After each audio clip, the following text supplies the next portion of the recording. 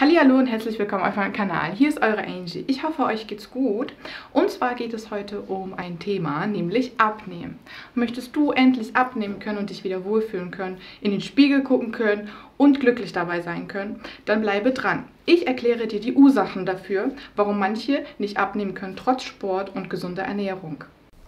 Ich habe nämlich selber ganze 60 Kilo in beiden Schwangerschaften zugenommen und irgendwann konnte ich halt nicht mehr. Man guckt in den Spiegel, fühlt sich nicht wohl und dazu fühlte ich mich dauerhaft schlapp.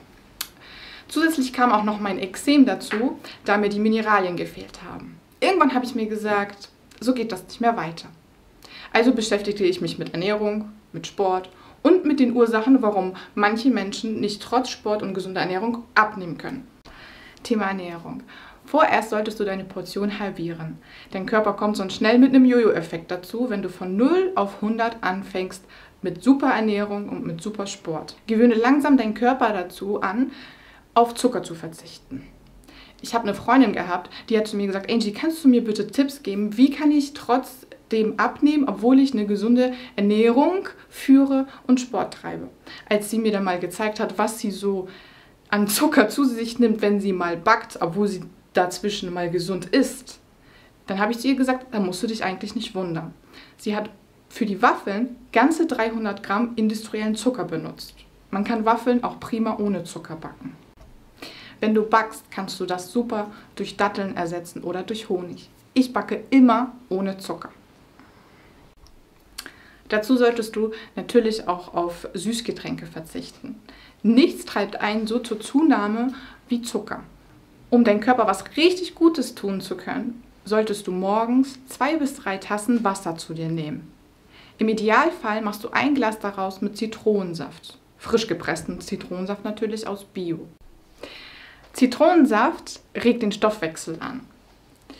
Es entgiftet enorm. Du tust dir wirklich unheimlich was Gutes, wenn du zwei bis drei Tassen Wasser morgens und ein Zitronenglas dazwischen zu dir nimmst. Natürlich solltest du auch zum Abnehmen bewusst viel auf Obst und Gemüse umsteigen. Viel frisch kochen. Gerade jetzt in der heutigen Zeit.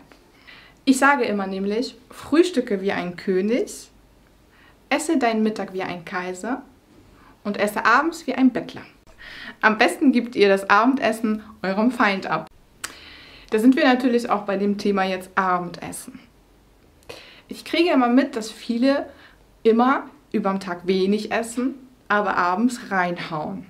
Was total falsch ist. Unser Körper braucht nachts seine Ruhe, um entgiften zu können. Essen wir spät abends, weiß unser Körper manchmal nicht, wie, alle, wie alles richtig verdauen soll. Oft ist es ja auch so, dass wir ja über Fett entgiften oder auch über die Haut. Denn wenn du spät abends isst, hast du nicht nur ein höheres Risiko an Krebs, was auch Studien bewiesen haben, du verursachst mehr Fett an deinem Körper. Also nehme dir vor, viel morgens zu essen, mittags auch zu essen, natürlich nicht so voll wie morgens, aber versuche abends darauf zu verzichten. Dein Körper wird dir das danken. Irgendwann wirst du merken, wenn du morgens aufstehst, bist du nicht mehr so kaputt wie vorher, als du damals abends spät gegessen hast. Nächstes Thema. Meditation. Hättest du jemals gedacht, dass Meditation viel dazu beitragen kann, um abzunehmen? Meditieren durchbricht den Hungergefühl und die Stresshormone. Denn wenn wir bewusst tief ein- und ausatmen, kann unser Körper viel besser entgiften. Und das trägt dazu bei, dass du besser abnehmen kannst. Ja, als nächstes. Diät fängt auch in deinem Kopf an. Auch wenn das jetzt für dich komisch anhört.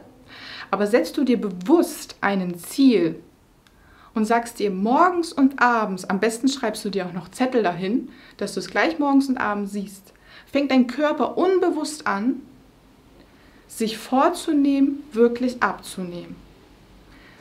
Schreibe dir Zettel hin, wie mit Ich schaffe das, ich werde abnehmen. Und bis zu dieser und dieser Zeit werde ich so viel Kilo abnehmen. Natürlich kommst du auch nicht am Sport vorbei. Fange auch da langsam an. Überfordere nicht sofort deinen Körper. Fange mit Spaziergängen an und dann mit kleinen Runden joggen. Und Stück für Stück erhöhst du das. Eine der effektivsten Abnehmmethoden ist das HIT-Cardio-Training.